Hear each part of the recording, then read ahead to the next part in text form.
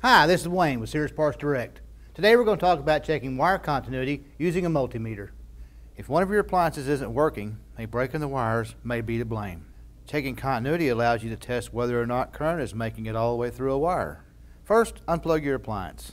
To avoid electrical shocks, all continuity checks must be conducted with the appliance unplugged. If an electrical part is connected to the wire, the easiest way to check for continuity is through the entire circuit, because both ends of the circuit will be connected to the control board.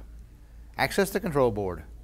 Trace the wires back to the board and measure resistance through the circuit you want to check. For example, the resistance through a bake element in this range is 15 ohms. If you measure 15 ohms, then you know that all the wires have continuity.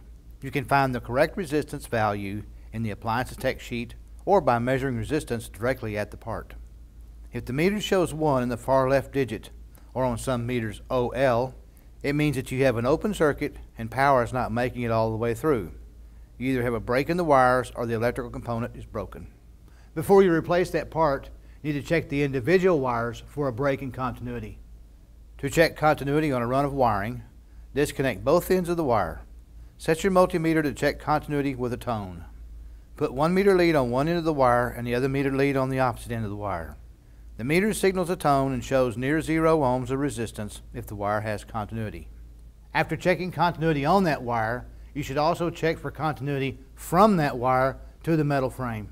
Sometimes a bare or damaged wire can make contact with the metal cabinet on an appliance, dissipating potentially dangerous levels of current which could shock or kill. If you ever see continuity between a wire and a metal frame, do not plug the appliance back in until all wires have been repaired.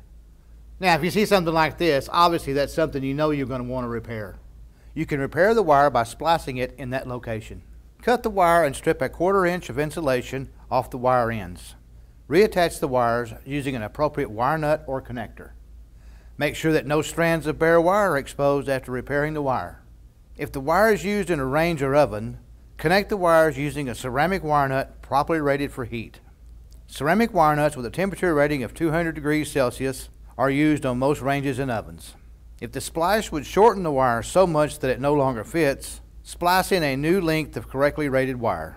Always check the continuity of the wire you repaired before reassembling the appliance. Well, I hope this video helped you out today. Be sure to check out our other videos on the YouTube channel, and if you like them, subscribe.